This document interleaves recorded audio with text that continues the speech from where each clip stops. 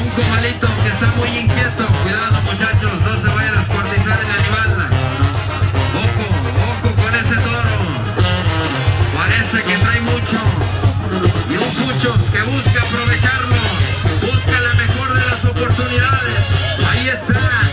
Colocando la mano, buscando a meter la mano en ese pretal. Un pretal que le servirá de soporte para que